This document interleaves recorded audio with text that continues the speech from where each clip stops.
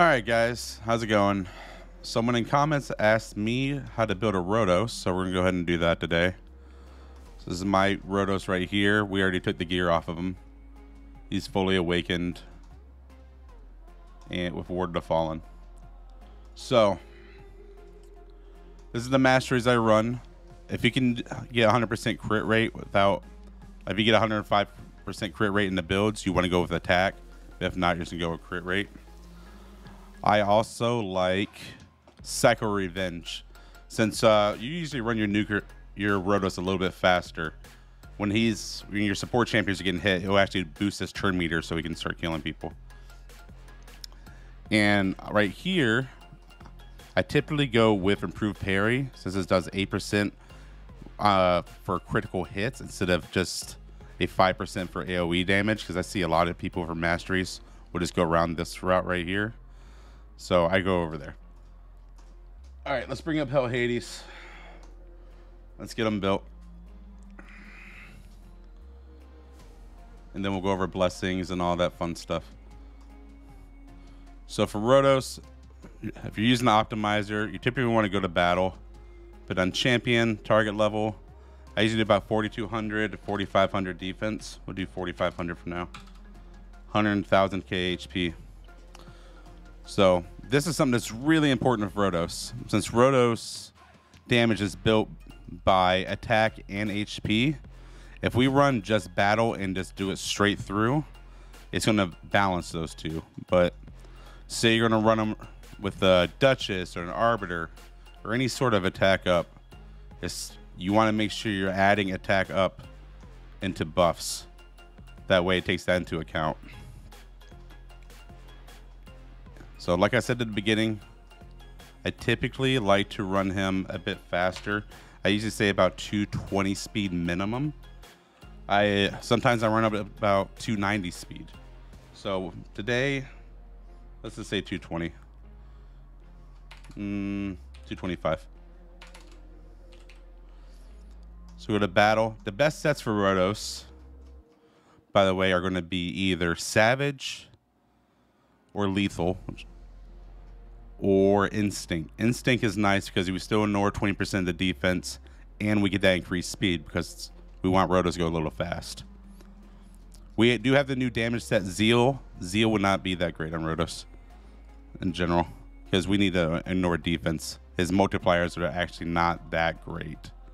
You see right here, 2.1 attack, 0.9 for uh, HP, 19. All right, so let's go to battle. Damage, you just do highest overall. And then we'll just go ahead and run it. Let's see what we get.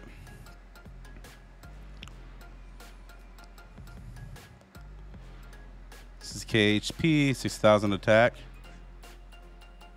Now, we when you build Rotos, we do want him pretty tanky. Don't forget about his defense. So let's see what we got here. This is actually my build. So uh, the reason why I don't do cruel is because I lose a lot of speed right here. But let's say we do lethal cruel, which is more ideal of a build. Let's see what I can pull off. Without stealing from all my other champions. That's the real the real trick. It's quite a bit of a loss. See, stats, skills.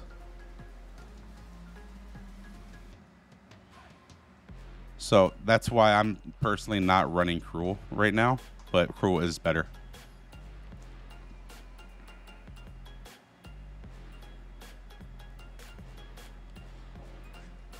So we're going to throw this on him. Another trick to do is for Rotos right here on the banners and the rings, we typically want to go with HP over attack. So since I say I didn't already have this build prepared, because it's usually on there, I would go on here in the rings and first just check it just like this and just turn off attack and try to get just HP and then I'll compare the two. It's going to be the same thing now. So let's go ahead and throw that on.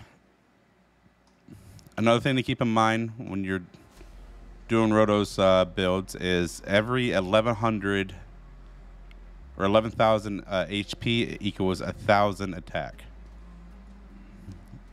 All right, let's uh, lethal.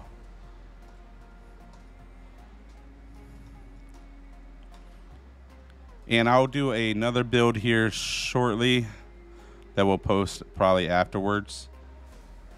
HP percent with attack percentage. This is great. With uh, a, we'll say a weaker Rotos. See attack, attack, all that speed.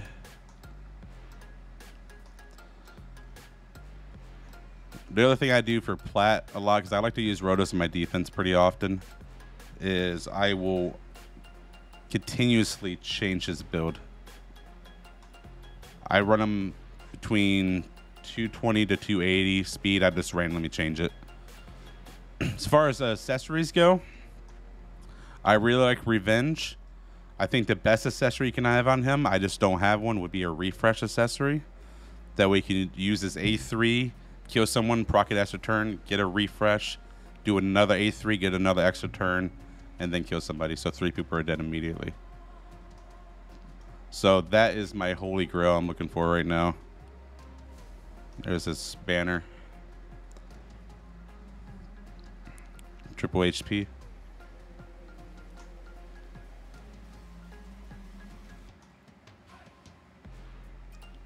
Yeah. And let's go over blessings real quick. So remember for Ward of Fallen, with the bone armor, that's uh, 30% less damage per bone armor. He's going to have three stacks of that. That's way less damage. So uh, anything above five star, I prefer Ward of Fallen. That way he can take more less damage, and then he has the skeletons that run out and kill people. Especially when you have a Rotos versus a Rotos. If he A1s me and I A1 him back, I also have the skeletons if I have any dead allies to try to take him down. I win a lot of fights that way under five star, if we're going to use them for offense only, you would go with Soul Reap under five star. Or if you're using for defense and you're like protecting with a Nekhret, I would be going either Lightning Cage, so we can protect, get them to protect uh, all the buffs if you're not running with Siphi, or Phantom Touch is really good as well because he does bonus damage inflicted by his attack. But if you're going to go with uh, Phantom Touch or Ward of Fallen, all the damage is done by attack, so you want to make sure you're really paying attention that you're giving them enough attack to do any damage. Alright, so now we saw the build. Let's go in the arena. We'll do a couple fights. Show them off.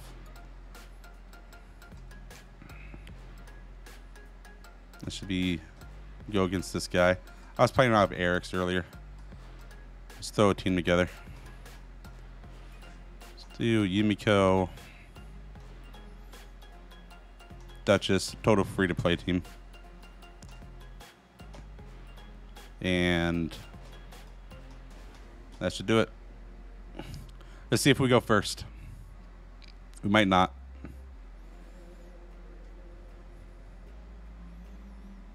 No, we're not going first. So that's kind of what I wanted because I wanted to show you if the benefit of using Rotos in like live arena, for example, is if you get locked out, it's not the end of the world. He'll get back to his abilities really quick. Since the A2 is only on a two turn cooldown, and we can get those extra turns.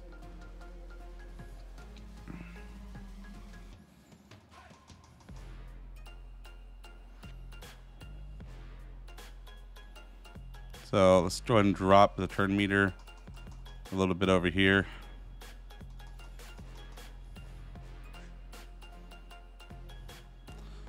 So I'm trying to kill this warlord that way he doesn't re-lock us out.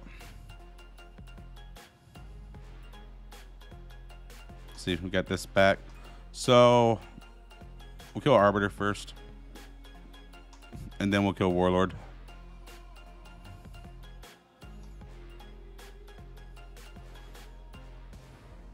Now we get to A3. Dead. Of course, he's going to get extra turn. There's the skeletons I was talking about. 8,000 damage, 8,400. Let's revive this. Why not?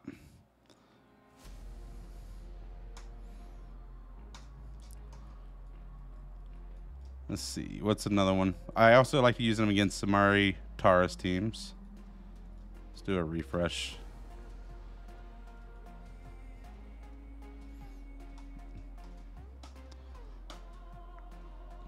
We'll do the same thing right here. More 2 is just not a big deal anymore, especially if you use single target damage dealers. All you gotta do is just not hit more 2. So I like bringing Rotos in for that.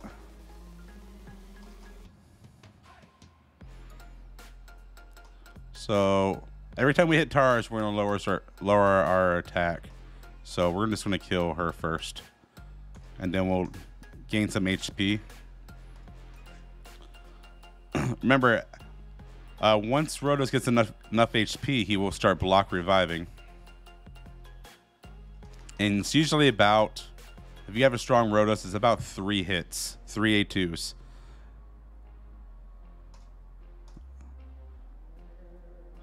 Tarzan won't have any more damage left. Now we're just kind of stuck waiting.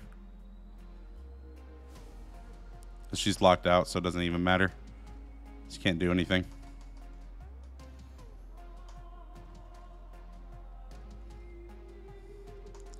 Protect her for zero reason. If I have no one protect, I always protect Duchess. Let's see if we can kill for A1. Eh, extra turn, A3. I always try to get that extra turn in.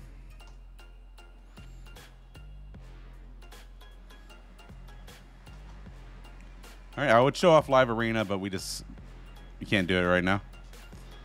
Another spot I like to use Rotos a lot is use them in Magma Dragon. I'm not using them right now. And uh, Griffin, but Griffin's not here right now. Uh, awesome, guys. Let's do some dailies. So Rotos with Nekhret is really good. Uh, if you're ever up against a Rotos, best way to counter him is a some type of multi-hitter. Ronda works really well since she ignores shield, so she can kill Rotos through uh, through Nekhret passive. Another champion that works really good versus Rotos would be just like Ronda. Not Road. Where's he at? There he is. Basileus Roanas. Roanas. Ignores defense, shield buffs, and block damage buffs, as well as 50% targets defense. And he's positive affinity. He can pretty much always kill Rotos through a Nekhret protection. So you gotta be careful with them. But yeah, I guess that's it, guys. Thank you for coming by. Make sure to like and subscribe. And if you have any more builds you'd like to see, just leave them in the comments and we'll record it. Awesome. Thank you.